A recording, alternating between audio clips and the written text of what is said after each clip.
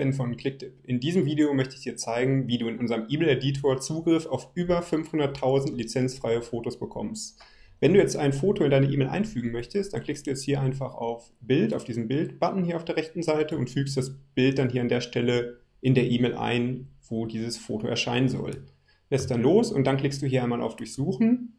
Und jetzt gibt es hier oben den Button Suche nach lizenzfreien Fotos. Da kannst du einmal draufklicken und jetzt gibst du hier einfach den Suchbegriff ein. Also was für ein Foto suchst du? Zum Beispiel möchte ich ein Foto von einem Notebook haben. Gebe ich jetzt hier Notebook ein, klicke einmal auf Enter und dann werden mir jetzt hier alle Fotos zum Thema Notebook angezeigt und ich kann mich hier durchscrollen und das für mich passende Bild aussuchen. Wenn ich das dann gefunden habe, dann klicke ich hier einfach bei dem Bild auf Import. Dann wird das Bild hochgeladen und wenn ich das Bild dann jetzt verwenden möchte in meiner E-Mail, klicke ich hier einmal auf Einfügen und schon ist das Bild eingefügt. Und genauso kann ich natürlich jetzt auch Bilder ersetzen. Also wenn ich jetzt zum Beispiel dieses Bild hier habe und dieses Bild ersetzen möchte, klicke ich hier einmal auf Bild ändern.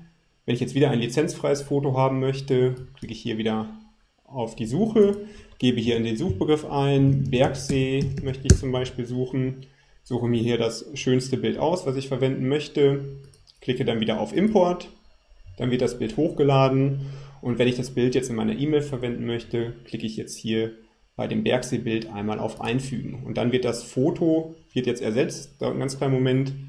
Und jetzt habe ich dort den Bergsee eingefügt.